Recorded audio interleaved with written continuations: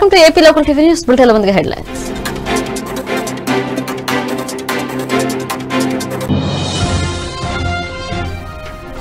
శాశ్వత భూ హక్కు భూరక్ష పథకంపై సీఎం జగన్ సమీక్ష హాజరైన ధర్మాన కృష్ణదాస్ బొత్స సత్యనారాయణ ఉన్నతాధికారులు.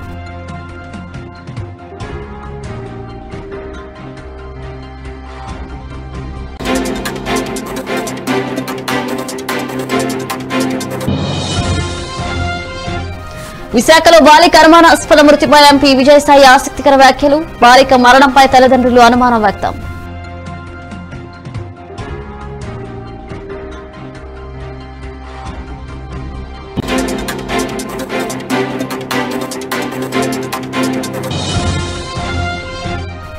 బంగాళాఖాతంలో ఏర్పడిన అల్పపీడనం రాష్ట్రంలో రెండు రోజుల వర్షాలు కురిసే అవకాశం వెల్లడించిన వాతావరణ కేంద్రం.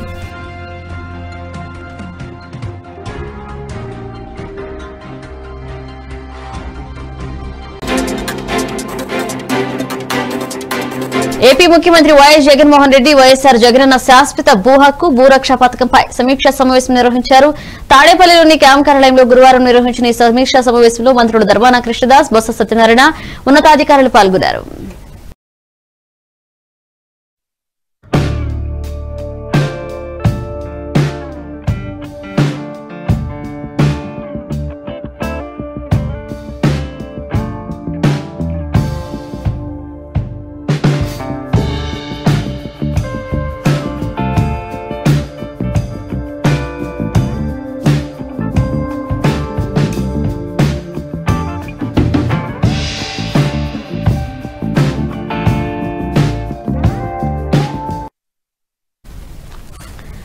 ప్రభుత్వ ఉద్యోగులు క్షేత్రస్థాయిలో విధానాల అమలును తమ భుజస్కంధాలపై వేసుకున్నారని ప్రభుత్వ సలహాదారు సజ్జల రామకృష్ణారెడ్డి అన్నారు. ఉద్యోగులను రాజకీయాల కోసం వాడుకోవడాన్ని ముఖ్యమంత్రి వైఎస్ జగన్మోహన్ రెడ్డి సహించారని స్పష్టం చేశారు. ఈ మేరకు బుధవారం తాడేపల్లిలో సీఎంఓ అధికారులతో ఉద్యోగ సంఘాల నాయకులు చర్చలు జరిపారు. సందర్భంగా సజ్జల మాట్లాడుతూ ఉద్యోగుల భద్రతలో సీఎం వైఎస్ జగన్మోహన్ రెడ్డి రెండడుగుల ముందే ఉంటారని తెలిపారు. ఉద్యోగులకు ఎప్పుడు ఏ సమస్య ఉన్నా ఖచ్చితంగా వాటిని పరిష్కరిస్తామని పేర్కొన్నారు. సుదీర్ఘంగా ఉన్న ఆర్టీసీ డిమాండ్లను సీఎం జగన్ నెరవేర్చారని అన్నారు అమలు కానీ ఆ భుజస్కంధాల మీదే ఉందనే స్పృహ మా ప్రభుత్వానికి పూర్తిగా ఉంది. దాని ఫలితంగానే అందరూ గమనించే ఉంటారు. గతంలో లాగా ఉద్యోగులు వాళ్ళల్లో గ్రూపులో రాజకీయాల కోసం వాళ్ళు వాడుకోవడం అనేది జగన్మోహన్ రెడ్డి గారు ససేమిరా అలాంటివన్నీ ఎంటర్టైన్ చేయకూడదనుకున్నారు. అది కంటిన్యూ అవుతుంది. ప్రభుత్వానికి సంబంధించినంత వరకు ఉద్యోగుల ఆ మీద అంత బాధ్యత ఉన్నప్పుడు వాళ్ళ గురించి ప్రత్యేకంగా ఆలోచించి ఉద్యోగుల సంక్షేమం గురించి కానీ లేదా వాళ్ళ భవిష్యత్తు వాళ్ళ కుటుంబాల భవిష్యత్తుకు సంబంధించి ఉద్యోగ భద్రతకు సంబంధించి అన్నిట్లో కూడా రెండు అడుగులు ముందే ఉండాలనేది ముఖ్యమంత్రి గారి విధానం. అందుకు తగ్గట్టే మీరు గమనిస్తే అంతకుముందు అవుట్ సోర్సింగ్ లాంటి ఇబ్బందులు ఉన్న చోట సిబ్బంది పడుతున్న ఇబ్బందులు ఉన్న చోట అవుట్ సోర్సింగ్ కార్పొరేషన్ ఏర్పాటు చేయడం అలాగే ఎక్కడైనా సర్వీస్లకి తీసుకోవాల్సిన చోట వాటిని తీసుకోవాలనే ప్రయత్నం చేయడం ఆర్టీసీని చాలా కాలంగా సుదీర్ఘకాలంగా ఉన్న డిమాండ్ దాన్ని నెరవేర్చి ప్రభుత్వంలో విలీనం చేయడం అలాగే లక్షా ముప్పై వేల కొత్త ఉద్యోగాలు కింద ఒకేసారి క్రియేట్ చేయడం సిస్టమ్ను మొత్తం కింది వరకు డీసెంట్రలైజ్ చేసి వికేంద్రీకరించి కొద్దిమంది మీద ఉన్న బాధ్యతను అందరి మీదికి పంచి అందరినీ ఇన్వాల్వ్ అయ్యేట్టు చేసేటట్టు చూడడము. ఇవన్నీ ఒక పక్క బాధ్యత ఇంకో పక్క దానికి తగినట్టు ఒక సాటిస్ఫాక్షన్ ఉండేట్టు. చేసిన చేసే ఉద్యోగం పట్ల సాటిస్ఫాక్షన్ చేసే విధుల పట్ల సాటిస్ఫాక్షన్ ఉండేట్టు. వాళ్ళని మోటివేట్ చేయడము. ఇవన్నీ కూడా పాలసీలుగా ఉన్నది కూడా గమనిస్తున్నారు అలాగే ప్రభుత్వం ఏర్పాటైనప్పటి నుంచి ఖచ్చితంగా ఎప్పుడు ఏ సమస్య ఉన్నా ఇంటరాక్ట్ కావడానికి ముఖ్యమంత్రి గారు బిజీగా ఉన్నా నాలాంటి వాళ్ళం ఉన్నాం. అలాగే అధికారులు ఎక్కడికక్కడ దాని సమస్యలు ఇటీవల విశాఖపట్నంలో అపార్ట్మెంట్ పై నుంచి దూకి అనుమానాస్పద రీతిలో మృతి చెందిన బాలిక కుటుంబాన్ని ఎంపీ విజయసాయిరెడ్డి పరామర్శించారు. సంఘటన జరిగిన స్థలాన్ని ఎంపీ పరిశీలించారు. ఈ సందర్భంగా బాలిక తల్లిదండ్రులు తమ కుమార్తె మృతి పట్ల అనుమానం వ్యక్తం చేస్తున్నారు. ఈ విషయమై విజయసాయిరెడ్డి మాట్లాడుతూ పోలీసులు వర్షన్కు బాలికల తల్లిదండ్రులు చెప్పేదానికి చాలా తేడా ఉందన్నారు. ఇందులో విచారణ సరిగ్గా జరగలేదని చాలా మంది ఆరోపిస్తున్నారు. బాలిక ఆత్మహత్య చేసుకోవాలనుకుంటే భవనం మీద నుంచి దూకేస్తుంది తప్ప పిట్టగోడ మీదనే కూర్చుని దూకదని విజయసాయిరెడ్డి అభిప్రాయపడ్డారు. ఈ కేసు విషయంలో లోతుగా విచారణ జరగాలన్నారు. భౌతికంగా మన దగ్గర నుంచి విడిపోవడం చాలా దురదృష్టకరమైనటువంటి విషయం. ఈ ఘటన కూడా చాలా దురదృష్టకరం. ముఖ్యంగా తల్లిదండ్రులకు చాలా మనస్తాపం కలిగించినటువంటి విషయం. మీరు రాజుగారు చెప్పింది విన్నారు లక్ష్మి చెప్పింది విన్నారు మహిళా సంఘాలు రిప్రజెంటేటివ్ రజక సంఘం అధ్యక్షులు చెప్పినటువంటి విషయాలు విన్నారు. స్వయాన పాప తల్లిదండ్రులు పావని తల్లిదండ్రులు చెప్పింది విన్నారు. ఈ సందర్భంగా నేను చెప్పదలుచుకుంది ఏంటంటే పోలీసు వారు చెప్పేటటువంటి వర్షన్కి తల్లిదండ్రులు చెప్పేటటువంటి వర్షన్కి వ్యత్యాసం ఉంది. పోలీసు వారు దీన్ని ఆత్మహత్య అని చెప్తా ఉన్నారు. తల్లిదండ్రులు ఇది హత్య అని చెప్తా ఉన్నారు. లక్ష్మి చెప్పినట్టుగా దీంట్లో ఇన్వెస్టిగేషన్ అన్నటువంటిది ప్రాపర్గా జరగలేదు అన్నటువంటి అభిప్రాయం వ్యక్తం చేశారు. రాజుగారు కూడా అదే రకమైనటువంటి అభిప్రాయం వ్యక్తం చేస్తున్నారు. మొత్తం అన్ని స్థలాలు కూడా ఎక్కడి నుంచి అయితే పాప పడిందో పడిందని చెప్తున్నారో ఇవన్నీ కూడా స్థలాలన్నీ కూడా పరిశీలించిన తర్వాత నాకు రెండు విషయాల్ని పోలీసు వారు ఇంకా పరిశీలించాల్సి ఉంది అని అన్నటువంటి అభిప్రాయం కలిగింది. ముఖ్యమంత్రి జగన్మోహన్ రెడ్డి వైఫల్యం వల్ల కృష్ణా జలాల విషయంలో రాయలసీమ తీవ్రంగా నష్టపోతుందని మాజీ మంత్రి కాల్వా శ్రీనివాస్ ఆరోపించారు. అనంతపురం పట్టణంలో నేడు నిర్వహించిన విలేకరుల సమావేశంలో ఆయన మాట్లాడుతూ ముఖ్యమంత్రి జగన్మోహన్ రెడ్డి కృష్ణా జలాల విషయంలో కేంద్ర ప్రభుత్వాన్ని ఒప్పించడం తీవ్రంగా వైఫల్యం చెందారని అన్నారు. నేటి నుండి కృష్ణా జలాల విషయంలో కేంద్రం ఆధీనంలోకి వెళ్తాయన్నారు.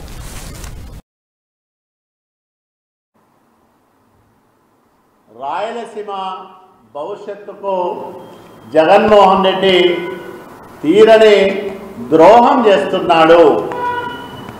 మనం చూస్తే కేఆర్ఎంబి ఒక ఉత్తర్వు విడుదల చేసింది. ఇందులో ఈ రోజు నుంచి రెండు రాష్ట్రాల్లోని పదహైదు అవుట్లెట్లు అంటే నీటిని విడుదల చేసే అవుట్లెట్లని మేము అధికారికంగా స్వాధీనం చేసుకోబోతా ఉన్నాం. వీటి నిర్వహణ పర్యవేక్షణ బాధ్యతల్ని మేము మా భుజస్కంధాల మీద మోయబోతున్నామని ఒక ఉత్తర్వు జారీ చేసింది కేఆర్ఎండి కృష్ణా నది యాజమాన్య బోర్డు. పదమూడు పది రెండు వేల ఇరవై ఒకటో తేదీన ఈ ఉత్తర్వు వచ్చింది. దీని ప్రకారం పదహైదు అవుట్లెట్లలో మనకు సంబంధించినవే చాలా ఉన్నాయి. అంటే మన జుట్టు మొత్తం కృష్ణా నది యాజమాన్య బోర్డు చేతుల్లోకి పెట్టాడు జగన్మోహన్ రెడ్డి.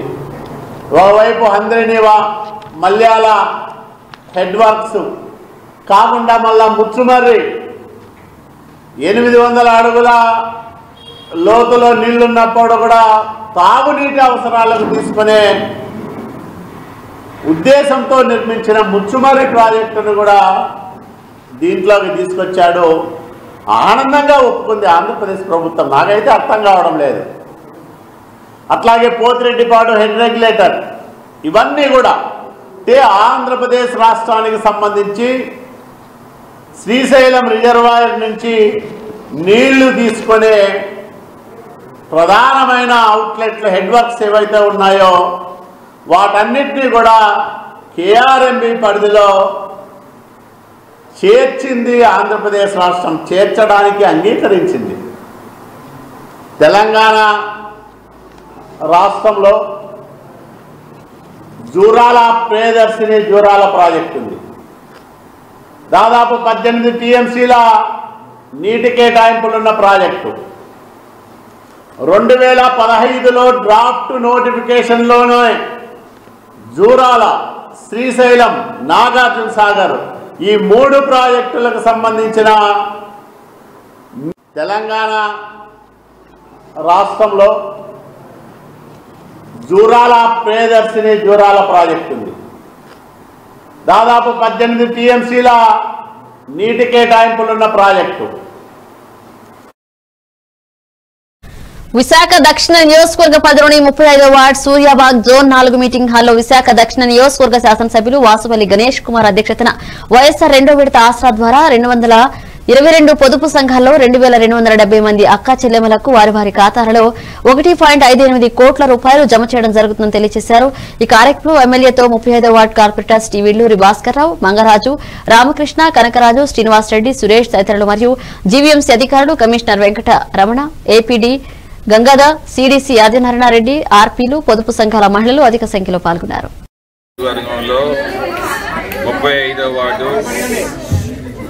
స్థానిక కార్పొరేటరు శ్రీ వెల్లూరి భాస్కర్ గారు వారి ఆధ్వర్యంలోని ఈరోజు ఆసరా కార్యక్రమాన్ని చేయడం జరిగింది. దాంట్లో భాగంగా సుమారు కోటి అరవై ఏడు లక్షల రుణమాఫీనేమో కేవలం ఈ ఒక్క వార్డు సెల్ఫ్ హెల్ప్ గ్రూప్స్ రెండు వందల ఇరవై రెండు సెల్ఫ్ హెల్ప్ గ్రూప్స్కి చేయడం జరిగింది. అంటే సుమారు రెండు వేల రెండు వందల మంది డ్వాక్రా మహిళలు ఉండే ఈ ఖాతాల్లో ఉండే రెండో దఫాగా మాఫీ జరగడం జరిగింది. ఆసరా అనేది అందుకనే చరిత్ర ఎరగని ఆసరా. చరిత్రకి ఎప్పుడు కూడా ఇలాంటి ఆసరా పథకం ఒకటి ఉంటుంది. నవరత్నాల్లో ఇది ఒక పథకంగా జగన్మోహన్ రెడ్డి గారు పెడతారు. అది కూడా స్త్రీశక్తిని నవరాత్రుల్లో ఒక శక్తిమూర్తిగా కొలిచే రోజుల్లోనేమో స్త్రీకి ఈ డబ్బులు రుణాన్ని మాఫీ చేయడం అంటే రాష్ట్రం మొత్తం మీద సుమారు ఇరవై ఐదు వేల కోట్ల రూపాయలు ఆ రోజు రెండు వేల పంతొమ్మిది ఏప్రిల్ నెలకి రుణంగా ఉండేవన్నీ కూడా రుణమాఫీ చేస్తానని చెప్పేసి గజనెక్కినటువంటి జ- మరి చంద్రబాబు నాయుడు అది కాదని చెప్పి అందరికీ కూడా వెన్నుపోటు పడడం జరిగింది. డ్వాక్రా మహిళలందరికీ కూడా సుమారు ఎనభై లక్షల డ్వాక్రా మహిళలకి ఈ రుణమాఫీ ఆ రోజుల్లో ఉంటే ఇరవై ఐదు వేల కోట్ల రూపాయలు. ఎవరో మహాతల్లి సాహసించి జగన్మోహన్ రెడ్డి గారి పాదయాత్రలో వెళ్ళి అన్నయ్య నాకేమో రుణమాఫీ చేస్తామన్నారు చేయలేదు.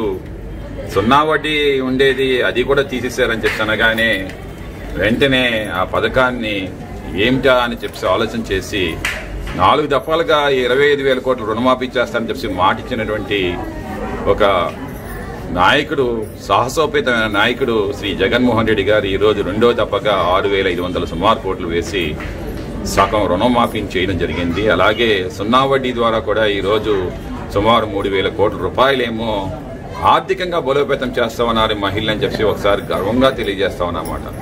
ఈరోజు బా- అందరూ అడుగుతారు జగన్మోహన్ రెడ్డి గారిని డెవలప్మెంట్ ఎక్కడ జరిగింది? డెవలప్మెంట్ అంటే ఏంటయ్యా? నాకు అర్థం కావట్లేదు. తెలుగుదేశం నాయకులకి నేను అడుగుతాను బీజేపీ నాయకులకి ఈరోజు డెవలప్మెంట్ అంటే సిఎంఆర్ మాల్ లాంటివి షాపింగ్ మాల్ ఏమో వెలిగిపోవడమా? డెవలప్మెంట్ అంటే ఎత్తైన బిల్డింగ్లు కట్టడమా?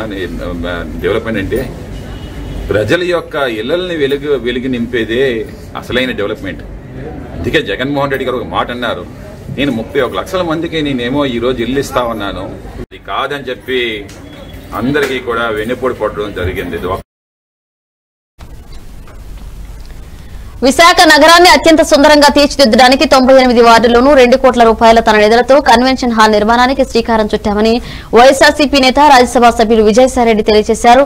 విశాఖ జిల్లా పెందుర్తి మండలం చీమలాపల్లి గ్రామంలో రెండు కోట్ల రూపాయలతో నిర్మిస్తున్న కన్వెన్షన్ హాల్కు శంకుస్థాపన చేశారు. ఈ కార్యక్రమంలో మంత్రి అవంతి శ్రీనివాసరావు అనకాపల్లి ఎంపీ సత్యవతి పెందుర్తి ఎమ్మెల్యే అన్నంరెడ్డి అదీప్రాజు విశాఖ జిల్లా mayor Golagani Harivenkata Kumari GVMC commissioner Srujana తదితరులు పాల్గొన్నారు.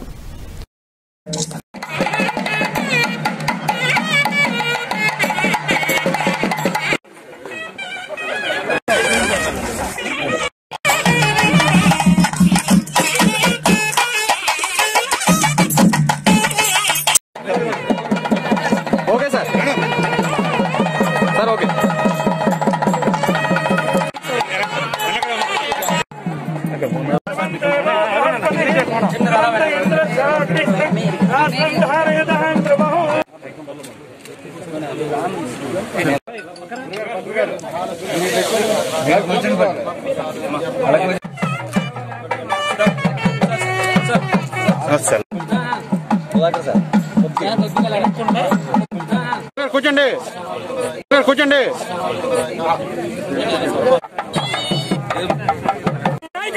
అలాగే ఎంపీ గారికి మన జీవన దళిత అందరికీ అందరికీ కూడా గారికి అందరికీ మన రాజ్యసభ సభ్యులు శ్రీ విజయసాయిరెడ్డి గారికి స్వాగతం. చేసినటువంటి విజయసాయిరెడ్డి గారికి అలాగే మంత్రివర్యులు శ్రీనివాసరావు గారికి.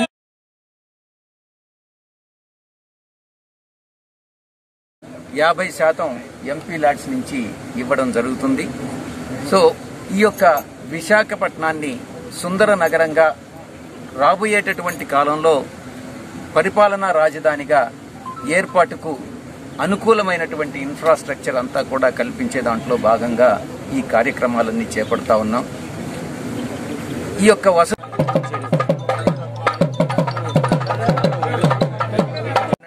అంతర్జాతీయ ప్రమాణాలతో ఈ యొక్క ఏర్పాట్లన్నీ చేయడం రిఫాక్టరీ ఉత్పత్తులు పరిష్కారాలతో విశ్వ అధినేత ఆర్హెచ్ఐ మాగ్నెసిటా తమ విశాఖపట్నం ప్లాంట్ ప్రస్తుత సంవత్సరంలో యాభై కోట్ల పెట్టుబడితో విస్తరిస్తున్నట్లు RHI MD CEO Pramod Sagar ప్రకటించారు.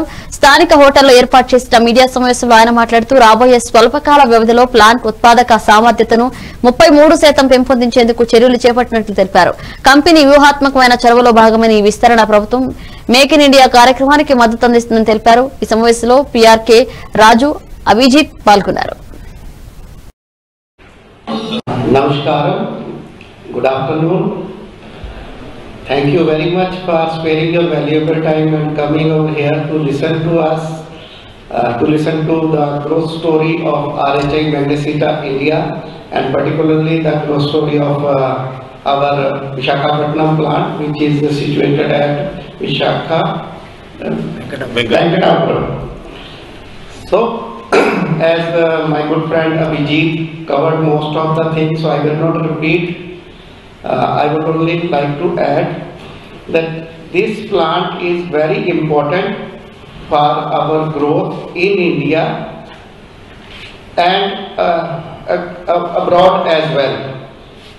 This plant is uh, strategic to our uh, growth plan. We have a strategy till 2025 where we want to take India production level to almost double and uh, plant is the main focus for our uh, expansion. In this uh, current year, we have a plan of about 65 crores expansion in this plant. 15 crore is already invested and the plant, the presses are in use.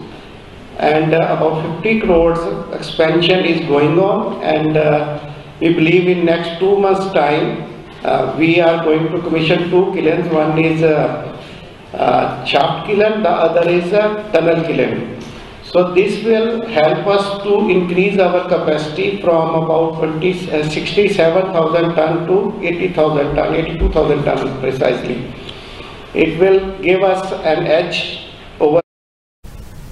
తూర్పు గోదావరి జిల్లా గోకవరం మండలంలో దేవీ చౌక్లో వెలిసిన అమ్మవారిని జగ్గంపేట నియోజకవర్గ మాజీ MLA Jyothula Nehru Devi చౌక్లో కొలువైన కనకదుర్గ అమ్మవారిని దర్శించుకున్నారు. ఆలయ కమిటీ సభ్యులు ఘనంగా స్వాగతం పలికారు. కార్యకర్తలు నాయకులు అమ్మవారి సన్నిధిలో శాల్వా కప్పి పూలమాలతో ఘనంగా సన్మానించారు. మాజీ ఎమ్మెల్యే జ్యోతుల నెహ్రూ మాట్లాడుతూ ప్రతి ఏటా అమ్మవారిని దర్శించుకోవడం ఆనవాయితీ అని అన్నారు. తెలుగుదేశం పార్టీ సీనియర్ నాయకులు మంగారావుతు రామకృష్ణ పోసిన ప్రసాద్ మాజీ జడ్పీటీసీ పాలూరి బోసు తదితరులు పాల్గొన్నారు. నేనైతే దీన్ని కుటుంబ సమస్యగానే భావిస్తున్నాను.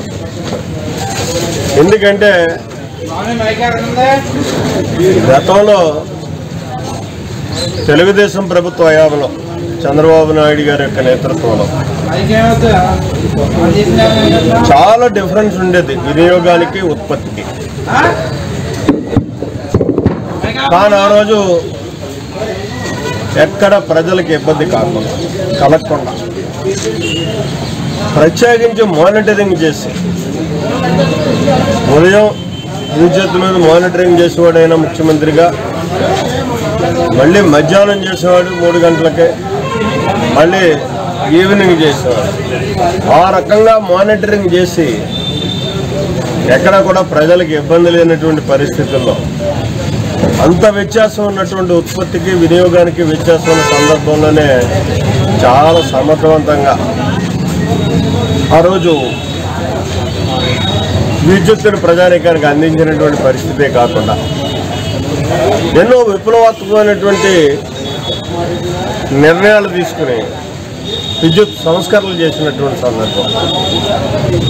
ఎన్నో ఫేడర్లన్నింటినీ కూడా ఆనాడు మార్చడమే కాకుండా విభజించడం ఎక్కువ స్థాయిలో ఫేడర్ ఫేడర్లు ఇవ్వడం ఇలా విద్యుత్ సరఫరాని చాలా చక్కగా సమర్థవంతంగా నాణ్యమైనటువంటి విద్యుత్ని ఈ విద్యుత్ని ఇస్తానన్న టైంకి కరెక్ట్గా ఇచ్చినటువంటి సందర్భం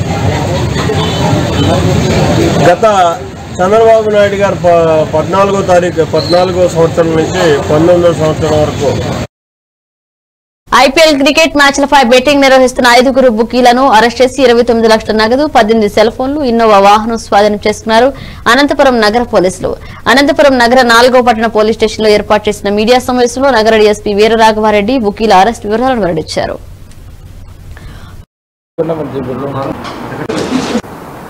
నిన్న దినము రాత్రి తపోవనంలో క్రికెట్ బెట్టింగ్ పైన ఎస్పీ గారికి రాబడిన సమాచారం మేరకు అనంతపూర్ ఫోర్ట్ వన్ పోలీస్ వాళ్ళు ప్లస్ వచ్చే ఎస్పీ టీం వచ్చి నిన్న తపోవనంలో మంగళప్రసాద్ అనే ఇంటి పైన రైడ్ చేయడం జరిగింది. దాంట్లో వాళ్ళు క్రికెట్ బెట్టింగ్ నిన్న Delhi Capitals Calcutta knight riders మ్యాచ్కి ఈచ్ బాల్కి ఈచ్ ఓవర్కి ప్లస్ గెలిచేదానికి బెట్టింగ్ చేస్తానే దాన్ని పట్టుకోవడం జరిగింది. దాంట్లో ఏడు మంది నిన్న అక్కడ ఉండి దాదాపు ఇరవై ఎనిమిది లక్షల తొంభై ఆరు వేల మూడు వందల రూపాయలు సీజ్ చేయడం జరిగింది. అతనితో పాటు పద్దెనిమిది సెల్ ఫోన్లు కూడా సీజ్ చేయడం జరిగింది. దీంట్లో మెయిన్గా మంగళ ప్రసాద్ అని చెప్పి ఇంతకుముందు కూడా అనంతపూర్ ఫోటోలో కేసు పెట్టడం జరిగింది. అతను మళ్ళీ ఇన్ని రోజులకు మళ్ళీ సర్ఫేస్కి వచ్చినాడు.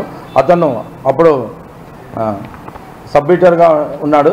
ఇప్పుడు వచ్చేసేసి మెయిన్ ఆయనే ఆర్గనైజ్ చేస్తూ కింద రఘునాథ్ రెడ్డి అని చెప్పి నార్పుల అతన్ని ప్లస్ వచ్చి పృథ్వీ అని ఆత్మకూరు అదేవిధంగా గంగాద్రి గౌజ్ మొహిద్దీన్ రమేష్ అని పుట్టపర్తి వాళ్ళని ప్లస్ వచ్చి రామ బాలాజీ అని చెప్పి ధర్మవరం పట్నం వాళ్ళని సబ్బుకీలుగా పెట్టుకొని ప్రతి బాల్కి దాని ప్రతి ఓవర్కి ఎవరు రన్స్ కొడతారు ఎవరు వికెట్ తీస్తారని చెప్పి బెట్టింగ్ జరుగుతుంది. దానిపైన మేము పట్టుకోవడం జరిగింది. ఇతను ఎక్కువగా బె- బెంగళూరు కోరమంగళంలో ఉంటాడని చెప్పి తెలిసింది. ఆ- ఇన్ఫర్మేషన్ పైన వాచ్ చేస్తా అంటే నిన్న ఐపీఎల్ క్రికెట్కి నిన్న అనంతపూర్ పట్టణంలోనే ఆయన బుకింగ్ చేస్తా అంటే ఈ ఏడు మందిని పట్టుకొని ఇరవై ఇరవై ఎనిమిది లక్షల తొంభై ఆరు వేల మూడు వందల రూపాయలు నగదు ప్లస్ వచ్చి పద్దెనిమిది సెల్ ఫోన్లు ఇన్నోవా వాహనం కూడా సీజ్ చేయడం జరిగింది. తూర్పు గోదావరి జిల్లా రాజానగరం నియోజకవర్గం కోరుకొండ మండలం రాజావరం గ్రామంలో శాసనసభ్యులు జక్కంపూడి రాజా చేతుల మీదుగా పేద ప్రజలకు ఇళ్ళ పట్టాలను పంపిణీ చేశారు. రాష్ట్రంలో పేదల సొంతింటి కళ నిజం చేయడం కోసం పేదవాడి జీవన విధానంలో మార్పు తీసుకురావడం కోసం వైఎస్ జగన్మోహన్ రెడ్డి శక్తి వంచన లేకుండా కృషి చేస్తున్నారని రాజానగరం శాసనసభ్యులు జక్కంపూడి రాజా పేర్కొన్నారు. సంబంధిత అధికారులతో కలిసి డెబ్బై నాలుగు లబ్ధిదారులకు ఇళ్ళ పట్టాలను పంపిణీ చేశారు. ఇక్కడ ఏ ఒక్కరికి కూడా ఒక్కటంటే ఒకటి ఇళ్ళ పట్టా ఇచ్చినటువంటి పాపాను పోలేదు ఈవేళ ఇది ఒక చరిత్ర. రాష్ట్రం మొత్తం మీద దాదాపుగా ముప్పై ఒక్క లక్షల డెబ్బై వేల మందికి ఒకటేసారి ఇళ్ళ పట్టాలు ఇచ్చేటటువంటి మహోత్తరమైనటువంటి కార్యక్రమం. యావత్ భారతదేశంలో ఏ ముఖ్యమంత్రి కానీ ఏ ప్రభుత్వం కానీ చేయలేనటువంటి ఒక అపూర్వమైనటువంటి కార్యక్రమం. మన నియోజకవర్గంలో దాదాపుగా ఇరవై వేల మందికి ఇళ్ళ పట్టాలు ఇస్తా ఉన్నాం మనం. ఎక్కడైతే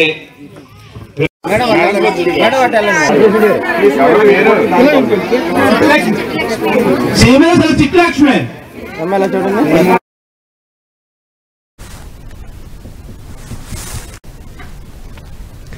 తెలుగు రాష్ట్రాల రజకుల ఐక్య ఉద్యమాలతో కదిలిన ఏపీ ప్రభుత్వం బాధిత కుటుంబానికి కోటి రూపాయల ఆర్థిక సహాయం ప్రభుత్వ ఉద్యోగం గృహవసతి కల్పించాలని చిన్నారి పావని హత్య అత్యాచారిక సంఘటనపై సీబీఐ చే ప్రత్యేక విచారణ జరిపించాలని నిందితులకు ఫాస్ట్ ట్రాక్ కోర్టు ద్వారా శిక్షించాలని చాకలి ఎస్సీ సాధన సమితి రాష్ట్ర అధికార ప్రతినిధి నోముల రవి ప్రభుత్వాన్ని డిమాండ్ చేశారు. అటువంటి అవకాశం లేదు. తల్లిదండ్రులు కరెక్టా? పోలీసు వారు చెప్పేది కరెక్టా అన్నటువంటిది ఇన్వెస్టిగేషన్లో తేలాల్సింది. ఇక రెండవ విషయం తల్లిదండ్రులు అక్కడక్కడ లిఫ్ట్లో కానీ అక్కడ జనరేటర్ దగ్గర గాని ఆ వెనకాల పెరట్లో గాని రక్తపు మరకలు ఉన్నాయి అన్నటువంటి విషయాన్ని చెప్తా ఉన్నారు. ఈ రక్తపు మరకలు ఉన్నప్పుడు పావని ఆరో ఆరో ఫ్లోర్కి వెళ్ళింది అని నిర్ధారించుకునేటటువంటి దాంట్లో భాగంగా పోలీసు జాగిలాలను పిలిచి ఆ అమ్మాయి పావని డెడ్ బాడీ ఆ యొక్క అక్యూజ్డ్ ఎవరైతే ఉన్నారో వాళ్ళ స్మెల్ వాటికి చూపించి ఈ జాగిలాలు ఎలా వెళ్తున్నాయి? ఈ అమ్మాయి నిజంగా ఆరో ఫ్లోర్ వెళ్ళిందా లేదా? అన్నటువంటి విషయాన్ని కూడా ఇన్వెస్టిగేషన్లో తేలాల్సి ఉంది. తప్పకుండా ఒక్కటైతే మాత్రం నేను చెప్పగలను. ఈ రోజు అమ్మాయిని గురించి చెడ్డగా మాట్లాడడం మంచిది కాదు. ఎవరు కూడా చేయకూడదు ఆ పని. నిజంగా వీళ్ళు గాని హత్యకు గాని పాల్పడి ఉంటే తప్పకుండా హత్య చేసినటువంటి వాళ్ళని శిక్షిస్తాం. ఎటువంటి దీంట్లో ఎటువంటి అనుమానము లేదు ఎటువంటి ప్రెషర్స్ కూడా లేవు. తల్లిదండ్రులకి న్యాయం జరిగేలా చూస్తామనని మీ అందరికీ కూడా పాత్రికేయ మిత్రుల ద్వారా నేను తెలియజేసుకుంటున్నాను. ఇవి ఉల్టన్ అప్డేట్స్. కి watching AP local TV news. జర్నలిజమై శ్వాసగా అక్షరాలే అభ్యుదయంగా. స్థానిక సమస్యలు మరియు సామాన్యుల మనోభావాలపై అనుక్షణం అసలైన సమాచారం ఆవిష్కరిస్తూ సామాన్యుడి కష్టం నుండి ఇష్టం వరకు వారధిగా నిలుస్తూ మీ ముందుకు వచ్చింది.